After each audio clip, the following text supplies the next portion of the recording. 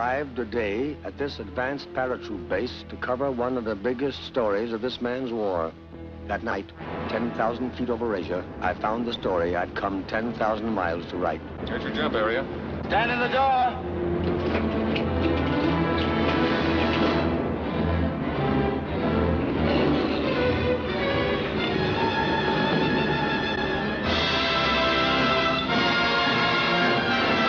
Yep, we hit the silk and plunged headlong out of the skies into the impenetrable jungle that is Burma.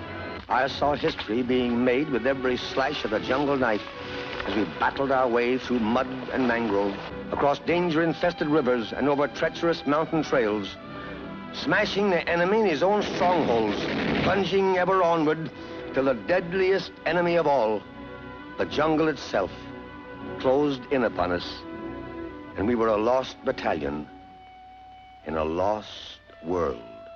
Looks like we're up a Burmese creek without any paddle. Okay, Chuck, we'll have to swim out. Can't do it. Wish we could. We'll have to walk.